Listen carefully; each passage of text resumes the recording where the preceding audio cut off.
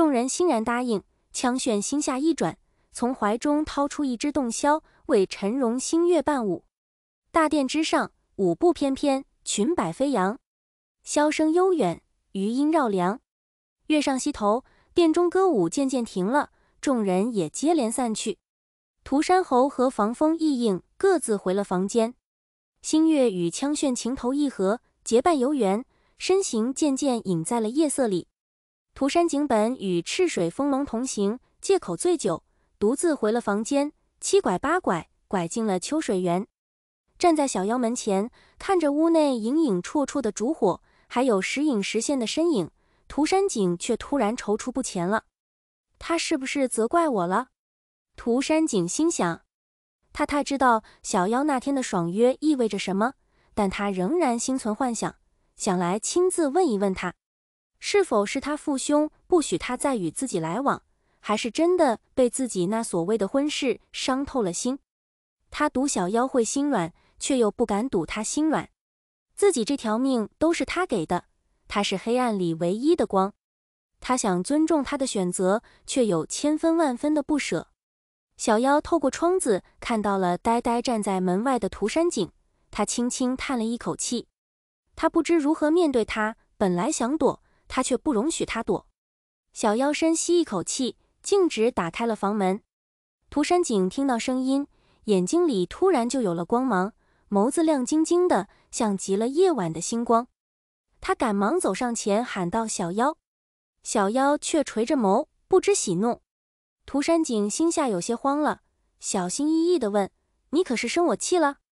小妖摇了摇头，良久，轻声道：“进来说吧。”涂山璟屏住呼吸，有些期待，却又不敢期待，静静地走进了房门。“你来这里可善后了？”涂山璟意会，认真的回应道：“我很小心，没人跟来。”小妖松了一口气，起身想去泡一壶茶，却被涂山璟抓住了一只手。小妖，那日我一直在等你来，等了很久很久。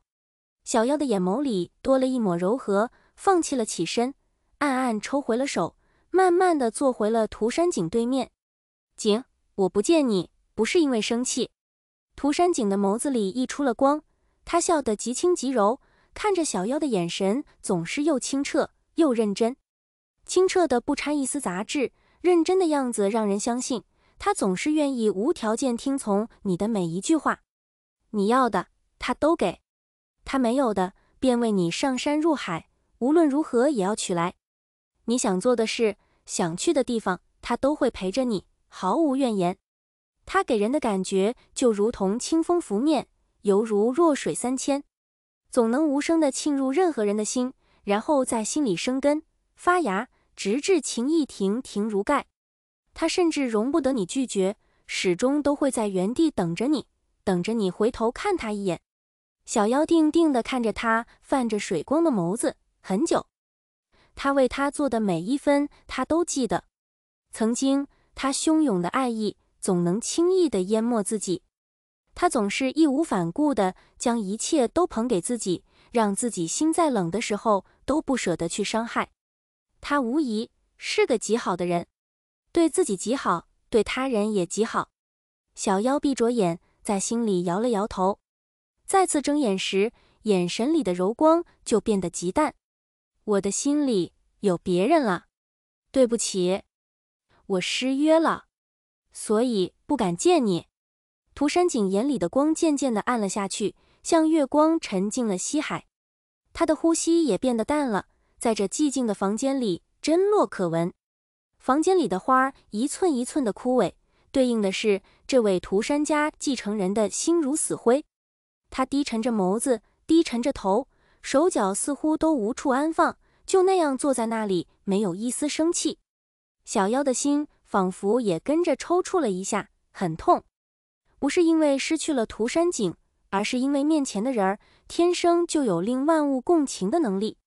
他脆弱的让人不忍去伤害，美好的让人想倾尽全力去保护，干净的让人自惭形秽。小妖深吸了一口气，狠起这辈子最大的决心，用力的挤出了那几个字：“你走吧，从今以后，我便不是文小六了。你也不必再是叶十七。涂山璟的手紧紧抓着袍袖，满脸不知所措，连完整的句子都说不出来。许久，好似下了什么决心一般，抬起头，缓缓地说道：“只要你开心就好。”